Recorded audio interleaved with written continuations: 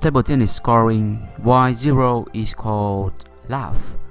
In football, the score of 0 is called nil. For example, when England wins France 2 to 0, it is called 2 0, but not 2 love. But in table tennis or in other racket game like tennis, the score is called love. Why?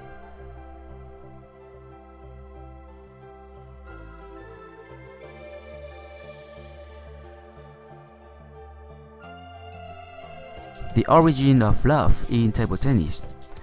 Firstly, I want to explain to you another example. Mayday, Mayday, Mayday. Maybe you have seen some American action film. The pilot often say Mayday, Mayday for the last signal for help. But why Mayday? In fact, it has the origin in France. Mayday is pronounced very similar to m'aidez, help me in France.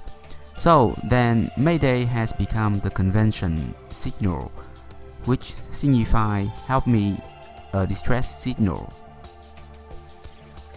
Mayday is easier to be heard than help me, prevent it is being mistaken for some similar sounding phrase under noisy conditions.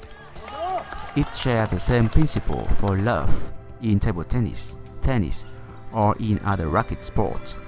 Love is nicer to call than zero. In France, an X is l'oeuf, which is pronounced very close to love. That is why love is the score zero in table tennis.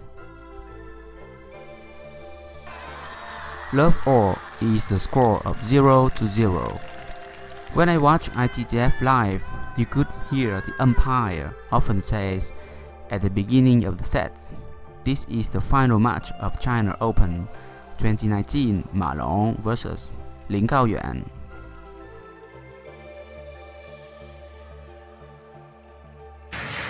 Ma Long versus Lin Gaoyuan. First game, Lin Gaoyuan to serve. Double. That means 0 to 0, Ma Long to serve. And then, if Ma Long wins the point, the score is set 1 love, 2 love, 3 love. However, do you know this? In table tennis, you should avoid winning someone 11 to love. It is not very polite to do that. But personally, I really love the meaning love all is table tennis is for all. We all love this sport.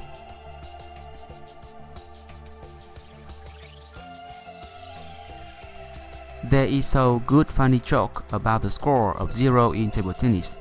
I prefer this one.